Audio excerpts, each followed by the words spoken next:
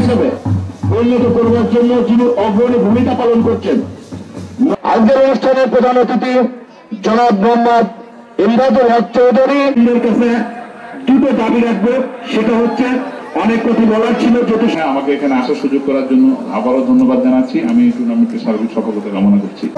জনাব মোহাম্মদ ইমদাদুল হক চৌধুরী এবং রহমান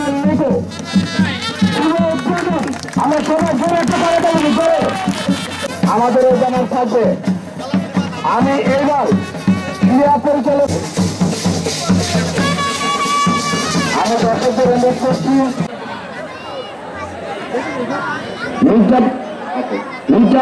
প্রতীকী সংসদ বনাম সিংহাসনপুর ফুটবল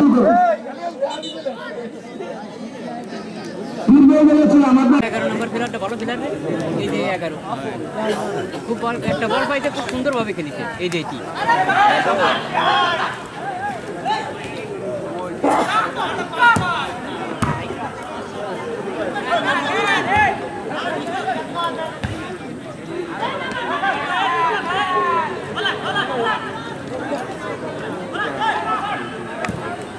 Yeah.